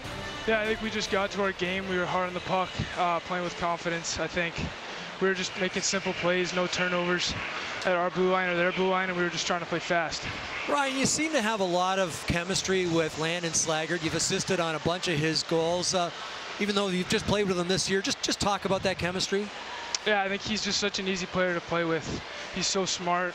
Uh, I always know where he's going to be because he's always in the right spot, and, and he does a great job of putting the puck in the net. Last one I got for you, Ryan, is just the key to the final 20 minutes. You guys, of course, will be on the kill to start the third period. What's the biggest key the rest of the way? I think just keep sticking to our game. Don't sit back. Stay aggressive, which we've done up to this point, and we've been playing well, so just keep doing what we're doing. All right, Ryan, thanks for the time. Good luck in the third period. Thank you very much. There is Ryan Siedem. Notre Dame's got a 3-0 lead in large part thanks to his contributions. He assisted on the first two goals. Back with more after this between Notre Dame and Ohio State. Impressive second period from Notre Dame. They hung three goals on the Buckeyes, and they lead 3-0 as we get set to start the third and final period. Tony Simeone, Steve Konroyd here in South Bend. The numbers speak for themselves there, Steve. It was a really strong second period for the Irish. Couple of power play goals. They kind of took control of the game there in the middle 20. They really did, and, and it looked like they did it by using their defensemen, either joining the rusher, especially in the offensive zone. You know, they have plays down deep. They get it back to the point. The point man would get a shot through, and they just reload and do it all over again. So a pretty good period there for the uh, Fighting Irish. We talked to Ryan Siedem just a few moments ago. He had a couple of assists offensively that started getting them going in the right direction. You'll see him heavily involved with these second period highlights. Yeah, always head up. Uh, I like uh, Brennan Ali, what he did earlier on this play, but he gets it to Siedem. Siedem spots Carpenter in front. Look at Ron Carpenter. He's got a body all over him. It wasn't the first, it wasn't the second, it was the third attempt. Just sticking with it. That was a big goal. Got the fans into it, got the team into it. And then Justin Janicki again from Siedem. This shot had eyes through the legs of the defender, then by Terness, and then Justin Janicki. It's an important play. They're on a power play. He draws another penalty. So that becomes a five on three. What do they do on the five on three? Well, they try to get it to Landon Slaggert because he has been golden from that area. His eighth of the year. After it got deflected in on Terness, he made the stop. He couldn't stop the second or third opportunity from Slaggert. That makes it 3 0 there's the numbers. It was really even after the first period, if you recall. Notre Dame hung over 20 shots on the Buckeyes in the second. They also got the face-offs closer. What's it going to take from the Buckeyes here to make a run in the final third period? Well, they need some offense. And without Stephen Halliday, I think for the first four or five minutes of this period, it's going to be tough. But uh, somebody's got to pick up the slack. And I'd like to see their defense get a little more involved offensively.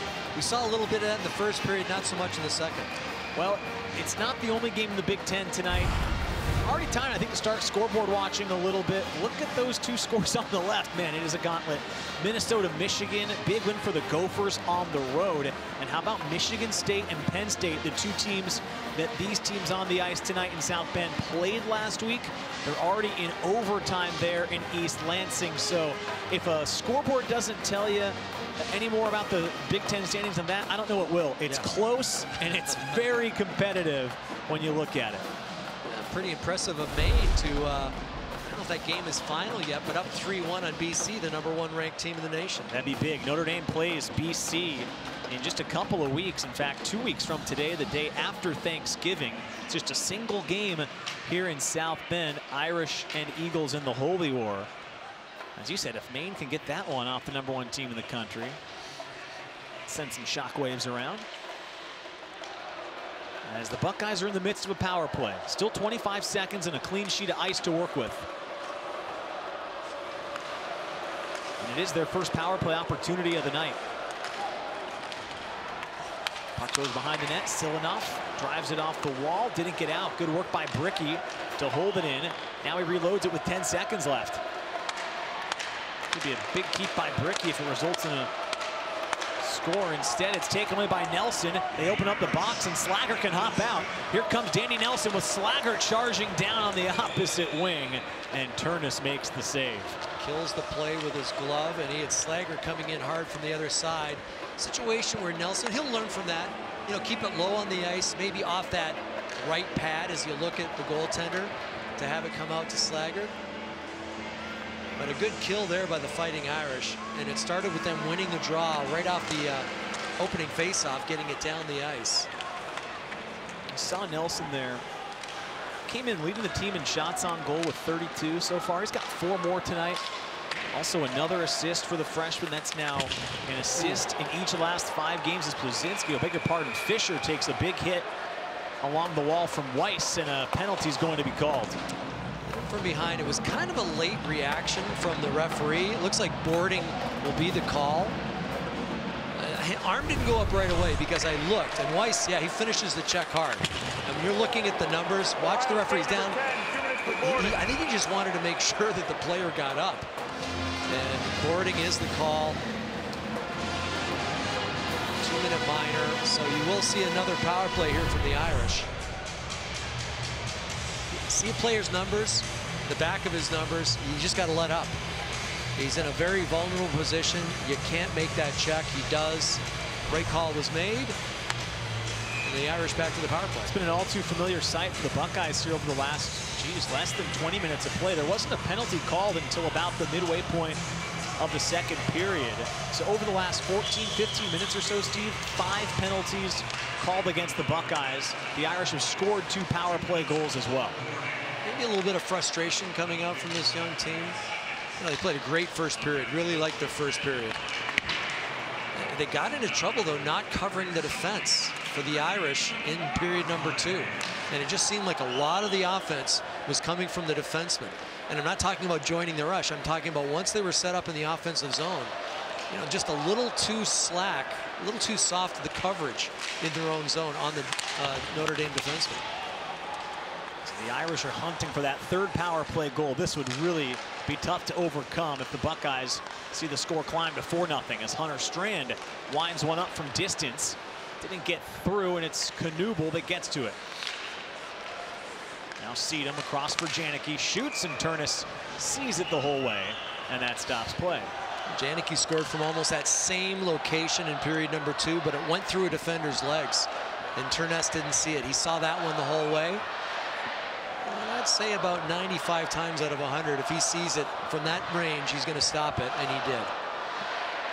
Terness has 31 saves tonight. He has let three get behind him, but two have been on the power play. He alluded to it last period. Stevie's looked, I think, really sharp for the most part of the night.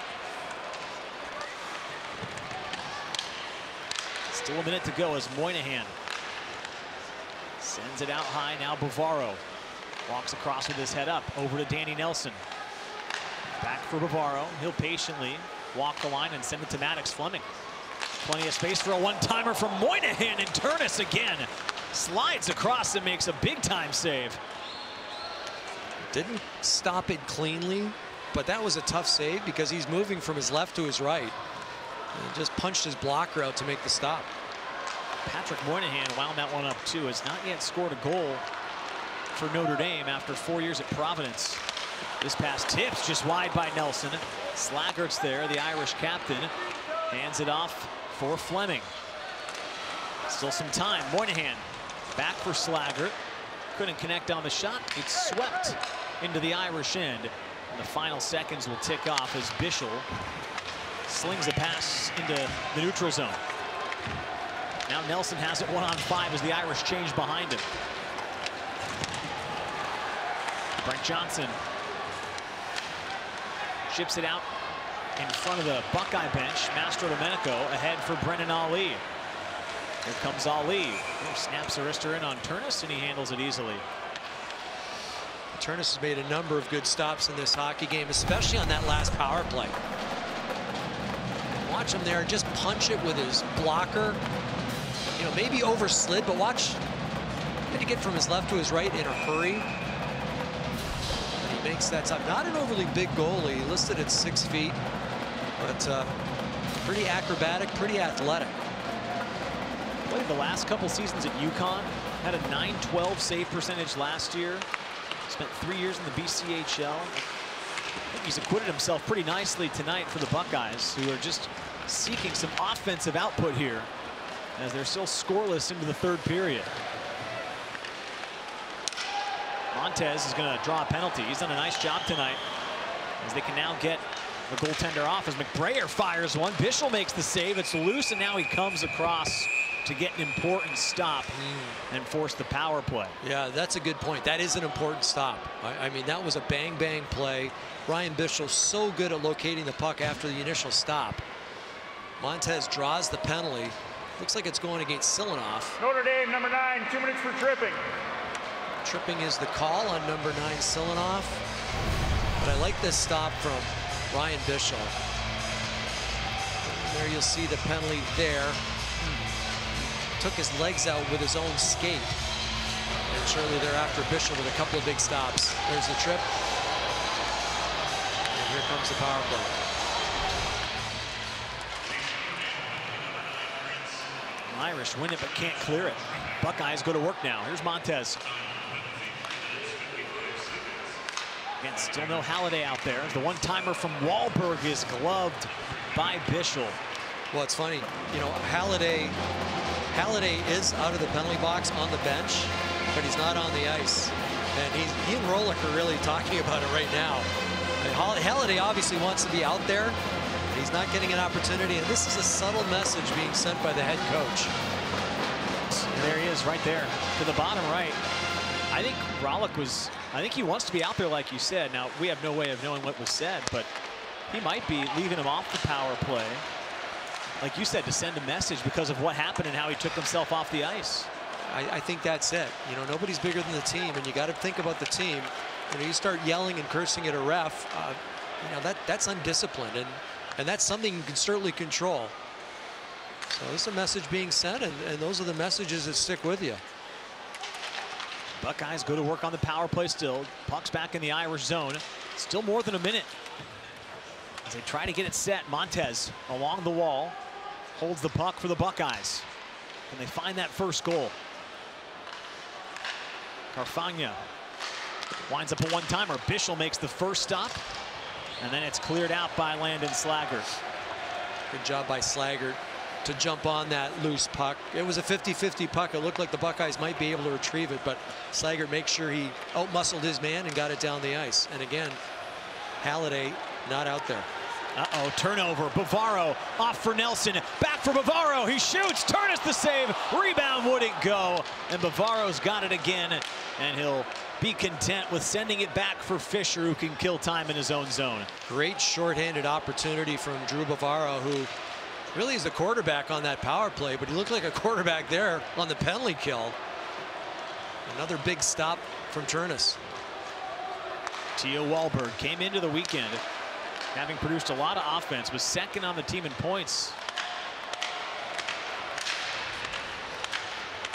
Final seconds of the power play. Brickey, the captain for the Buckeyes, has it. Off for Wallberg, back for Brickey, navigates his way in. Bischel makes the stop. Then Silianoff, hot out of the box, has the puck.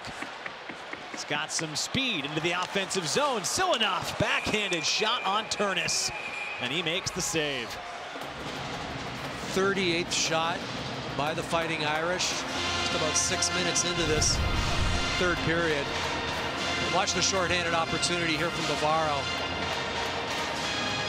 Almost gets to the rebound. Brickey there just in case to help his goalie out, but that was an excellent penalty kill by the Irish. In fact, a couple of shorthanded shots. Drew Bavaro has been so good offensively for this team, Steve. He has another assist tonight. That's now five points in the last five games. Talked a lot about how really both these teams have seen tons of offensive output from their defensemen, and Bavaro's a guy that Notre Dame has been able to really rely on throughout the season. I liked your conversation with with Jeff Jackson. You talked about Bavaro, and he sees a lot of similarities with Nick Leivermann, of course, the quarterback of the power play last year. One's deflected wide. Michael Mastrodomenico, another defenseman for the Irish, trying to get it out. Silianoff whacks at it. McBrayer couldn't hold it in, and now it is Mastrodomenico onto the puck for the Irish before Messina skates back and takes it away. The other thing he said about Bavaro is, you know, he'd like to see him maybe pass the puck a little more on breakouts, especially on the power play. You know, the puck's going to move faster than anyone can say. He loves to lug it, and sometimes that's a tough habit to break. But uh, you know everything else loves about his game, especially the way he's moving without the puck. And that's sometimes a part of the game that uh, goes unnoticed. Fleming catches a feed from Slaggert. Carter Slaggert shot it well wide. Now the puck's loose behind the net. Terness able to just lay it on a tee for William Smith, who then takes a big shot from Carpenter in the corner as he sends it down. And icing is the call that'll bring it back to the other side of the rink. Tyler Carpenter pretty strong on his skates. Another good fourth line shift. And it's tough for a fourth line because, you know, especially with special teams, power plays, penalty kills, you might not get out there. So they get an opportunity and they make the most of it. Watch this hit. That's just a good old-fashioned shoulder the solar plex. Knock the guy down, separate him from the puck. Good job by Tyler Carpenter. 12-20 to go. All three Irish goals scored in the second period. Was a really tightly contested, as you said, Steve, close to the vest first period. And then it was Carpenter who just, you saw that moments ago, make that hit. He got the first goal, and then the Irish were able to tack on a couple more. And since then, they've looked comfortable out there. They've really not allowed a lot of airspace for the Buckeyes to operate. Could have been too many men, but it's not. It's it's funny what that first goal will do. You know, it just changes the dynamics of the game. It gives your team some confidence. It gets the fans into it. It gets the band here, the Fighting Irish Band, and that's a huge point of emphasis. Whenever you talk to the coaching staff, once they hear that band playing, uh, they know the crowd's going to follow in short order. So, yeah, that, that was a good shot in the arm there by that fourth line and Tyler Carpenter. Bavaro has it taken away. Burnside moving in, sends it for Thiesing, who backhanded it just wide. Well, would have been a great time for his first goal of the year. He's got the puck again with some space. Fires the shot, and Bischel has the answer for Notre Dame. And Cam Thiesing's had some looks in this game. And he's got all the tools to be a scorer. He's got good speed, great hockey sense. He's fearless out there. And a redirection on the backhand. Just missed by an inch. Here's the redirection. And maybe he was trying to corral that to get the shot off, but uh, Cam Thiesing, see, maybe took a whack to that right glove, and he's feeling it. Steve, Steve Rohlik has really shuffled the lines here. This is a line of Caden Brown, Michael Gildon, and Max Montes. They were the first, second, and third line left wingers to begin the game. Still have not seen Halliday come back on the ice since he was sent off for the misconduct. And he keeps staring back to his coach, hoping his number gets called, and uh, yeah, this is a pretty strong message being sent to that young man. I mean, they've totally shuffled the deck here. I mean, you got three guys who, again, are all left wingers to start the game. And they're on the same line here. You know, the, the, the one, the one guy sitting down on the bench. Uh, that's not Halliday. I take that back. He's There's right behind guys. Brickey there. Yeah. yeah, yeah. He's he's not enjoying this and he realizes that, you know, he made a mistake. His team needs him, and he hurt his team back in the second period, so he's not going to get an opportunity. That's the thing about this Ohio State team. They don't have a lot of scoring options, and Stephen Halliday normally sees the best defenders, the best defensive forwards whenever he's on the ice.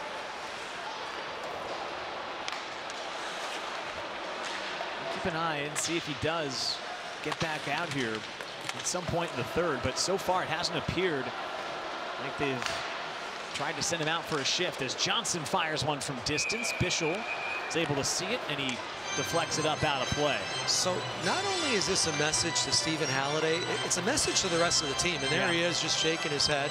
He's dejected. Um, but it's accountability. And that's, you know, something I appreciate with coaches. It doesn't matter if it's your worst player or your best player. If you make a mistake and and there's the frustration from Halliday. You make a mistake out there, um, you're going to get set. And, you know, it's, it's, it's not only Stephen Halliday who's feeling this right now, but there's seven other freshmen on that team who realizes, hey, listen, if the best player can get sat for, for making a mistake, I could get sat too. So um, I'm, I'm fine with this decision from Steve Rohlik It's a pretty good look for Matt Cassidy off the faceoff. Just went wide. Nick Breyer's out there right now. Defenseman. He's also got Brickey who's got the puck right now, the captain. Behind his own net. Wow, backhanded it for himself, but gave it away. There's a feed from Ali.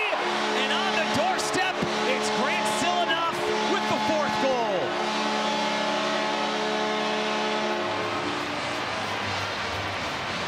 The Scooter Brickey's had a pretty strong game, but you don't want to see this kind of a play. There's nothing to be gained by trying to beat a guy behind your own net, going behind your back. Uh, that's what he does. Ends up turning the puck over. A good forecheck there by the Fighting Irish, too, to force that turnover. But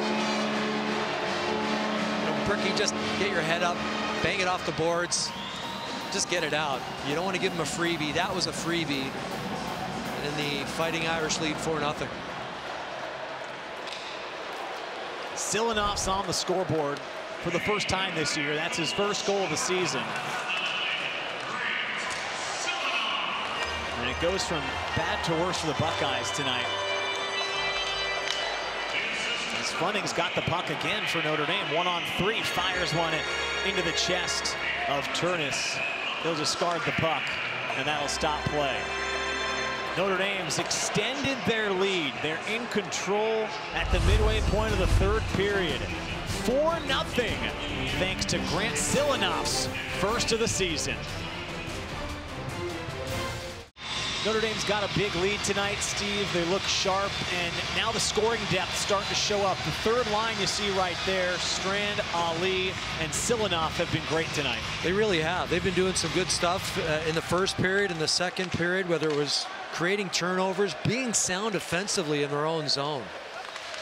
And the fourth line gets that first goal, and now the third line contributing as well. Uh, that's showing a lot of depth in this Fighting Irish team. You get all four lines contributing like they have. Uh, that's pretty impressive. You just saw the Silianoff goal. It was assisted by both Strand and Ali. So Silianoff's got the one goal, and then Strand and Ali each have two assists. So five points from the third line tonight. Mm.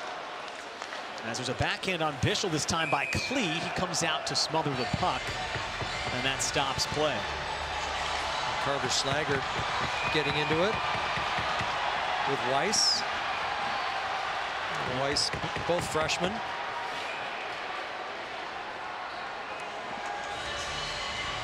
There you see those guys on the bench. And it's also, you've pointed it out a few times, Steve, Ali right there, number 13 in the middle. He just seems to have an unrelenting motor. He does not stop out there. There was a shift tonight. He was out there, it seemed like, for at least between a minute and 90 seconds. And he had as much juice in the tank at the Ohio end of the State, shift as he did at the beginning. Two minutes for roughing. Notre Dame, number 25, two minutes for roughing. Playing four on four for two minutes. A couple of coincidental Yep. roughing penalties. Carter Slaggert. I'm not too sure who the Buckeye is, but yeah, getting back to Ali, I remember the play because it was an icing, and he almost won the foot race for the icing at the end of a long, long shift. So Carter Slaggert, part of that fourth line. To mention the fourth line with Carpenter, Fleming, and Slaggert.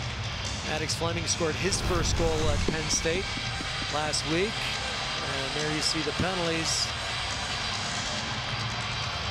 I think that's Deckhut who got it for Ohio State. Carter Slaggert in the box for the Irish. So now, four on four, and it's taken away. Here comes Cole Knuble on his way in. He shoots, and it's over the bar. Cam Thiesing did well to disrupt them in those final strides. Siedem, though, right back for Plucinski, looking for Knuble. Can't get the shot off, then he fires one wide as he goes down to the ice. That would have been a memorable first goal for Cole Knuble. He was horizontal when he shot that puck just a little bit wide. And you're right, Cam Thiesing really stopped a great scoring opportunity from Knuble earlier. In front, Bischel makes the save on Patrick Guzzo, who fired it off his pads. You get a sense like Notre Dame's looking for 22 in white right now to collect his first career point. He's got the puck as he skates back into the neutral zone, and now he will go off as Bavaro comes in. He takes a spill, and it's going to be a four-on-three power play after a trip. Yeah, Cam Thiesing with a little bit of a hack there. Bavaro with a nice move to the inside. He gets dragged down. Cole Knuble, though, a couple of good looks here Ohio on the State, four on number four. 15, two minutes for slashing. Slashing's the call on Thiesing. Knuble, though, had an opportunity. And there you see things come back just to upset him. And as a result, Knuble put it over the crossbar. And a little later on, I like this move to the inside by Bavaro. The trip, the hack, the slash, he goes down. Thiesing thought that maybe Bavaro dressed it up a little bit, but regardless, he's in the box. Penalty minutes tonight. Notre Dame has six. They've taken three two-minute minors. Ohio State's taken seven penalties for 22 minutes of penalty time. I bring that up because, of course, Halliday is kind of the kicker. He's off the ice for 10 minutes. Hasn't been back on as there's a one-timer as it comes back to Bavaro. Four on three as Moynihan holds the puck. Back for Bavaro. He's got space. Fires a wrister that Terness is able to block her into the corner. Moynihan's after it. Still plenty of time here. 30 seconds in the four on three as Dalton Messina intercepts and he backhands it away. And following a very spirited conversation in the penalty box between Cam Thiesing and Carter Slaggert and uh, a lot of pointing back and forth. See if anything happens when those two gentlemen get back on the ice. Keep an eye on them. See how it also possibly could bleed over into game two tomorrow as Nelson sends it for Bavaro. Back for Nelson. Big one-timer deflected that time.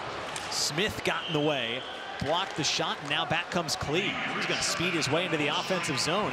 Here's Klee in Ooh. tight. Oh, big collision. Hits the post. Collided with Bischel as well. Everybody looks okay, but of course play must stop as the net was dislodged. Well, Klee is a big body, 6'2", 195 pounds. A graduate student who played four years at RPI showing some good speed there. Mentioned his dad, Ken, longtime NHLer. Watch the big defenseman get a bit of a stride on the defender, Bavaro. You see the net come off its moorings. Good thing Ryan Bischel wasn't. He did get bumped, but not a lot.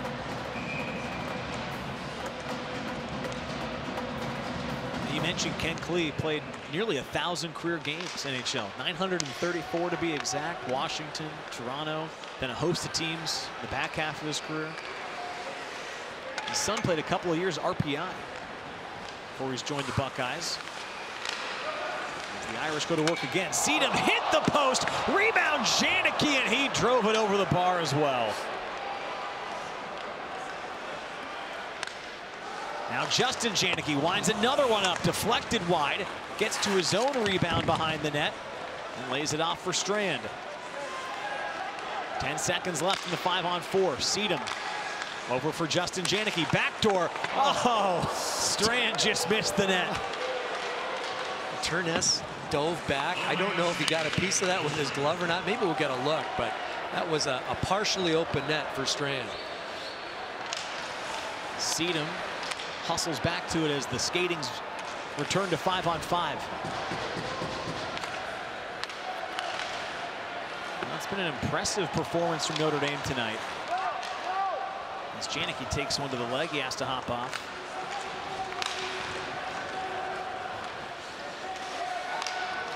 McBrayer trying to find Messina. He's out of his reach. Ali takes it away. Now he's got his head up. Long stretch feed for Carpenter. Scored the opening goal tonight. Notre Dame has not looked back since as Terness will stop play as he sits on top of it. We saw Ryan Siedem with a couple of assists in this game. Almost scores a goal as he fires from range off the post. Oh, yeah.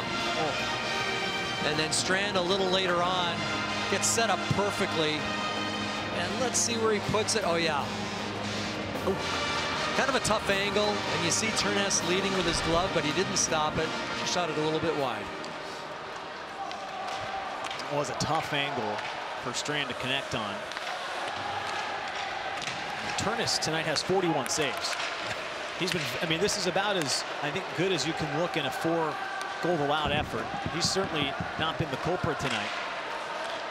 Yeah, that's what get, gets lost in this. I mean, he hasn't had a lot of help on the goals that he's allowed. And uh, he's looked very good, making some big stops at some key times.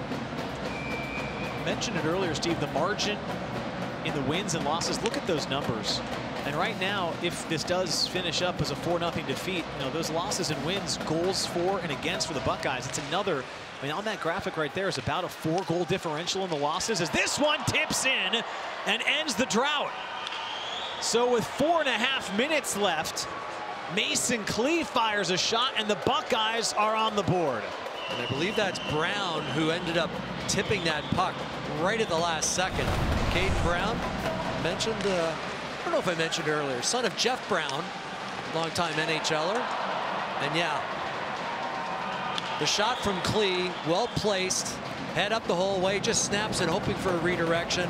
Looks like it goes off the shin pad of Caden Brown.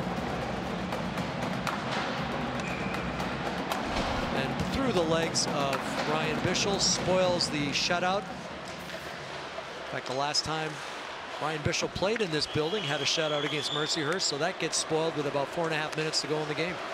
First goal for Brown as a member of the Buckeyes as Bischel has to make another save against Brown right off the faceoff just 13 seconds later.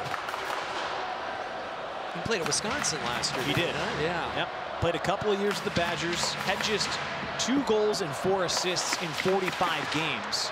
Comes over here to play in Columbus. And tonight's just his second game in the active roster with the Buckeyes. He's gotten back on the ice and he's got a goal. And, and Steve, I'd say this, this, if nothing else, that can give Ohio State something to at least build towards going into game two tomorrow. Yeah, it's something. It's it's one of the bright spots. Obviously, the player, the goaltender, has been really good. But yeah, Caden Brown. We mentioned Jeff Brown. Jeff Brown was a defenseman in the NHL. Caden Brown plays wing. So a couple of former NHL defensemen's sons hooking up on that goal. Yeah. Brown from Klee. See if that can get them some kind of momentum here. I mean, the Buckeyes could light the lamp again, then they could probably pull the goaltender. Who knows?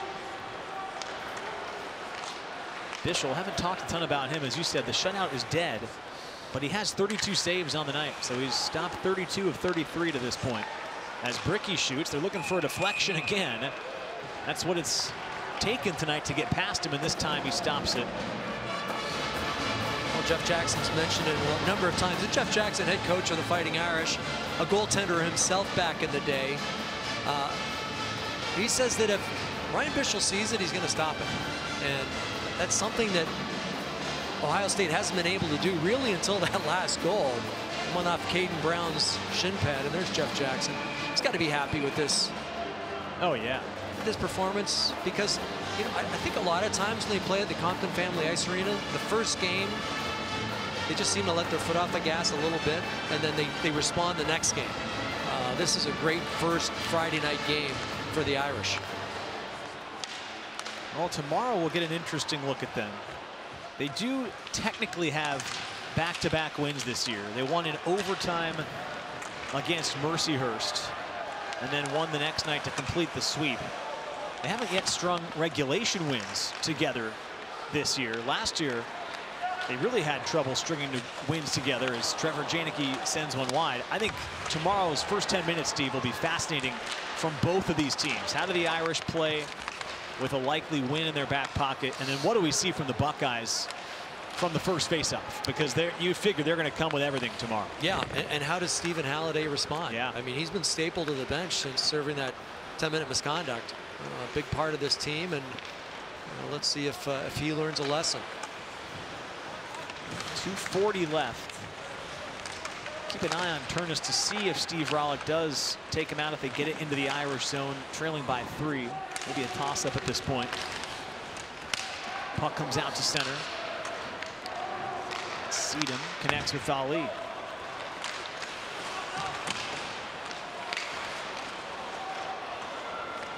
Thing that's that's been impressive in this game for the Irish is the one-on-one -on -one battles. They've been winning their fair share of one-on-one -on -one battles, especially in the offensive zone. And this third line, I think, is, is led to charge in that respect. You know, getting to loose pucks, 50-50 pucks, you know, winning the physical battle. And this is another strong shift by this third line. Strand, Ali, Silianoff have been great tonight. Got five points combined as Weiss for the Buckeyes carries into the offensive end as they change. Ali then looking to connect with Strand. It's out of his reach, and Ohio State will circle back into their own zone.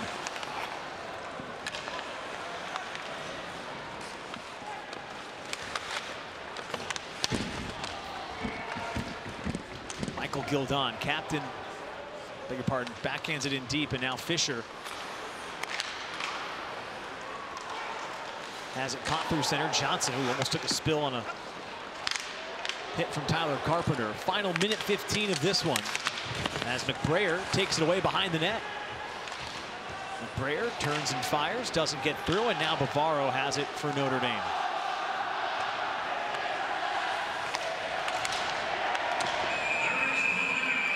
Gonna get a penalty here in the final minute, Steve. Yeah, Carter Slaggert, who is drawing the ire of a few of the uh, Buckeyes, finishes the check on Johnson and earns a two-minute minor for it.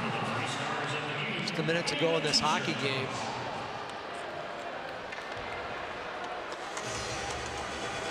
Carter Slaggert, not the biggest player out there, but certainly not afraid to throw around his weight. The previous play is under review. Well, under review, so they're possibly checking for a headshot.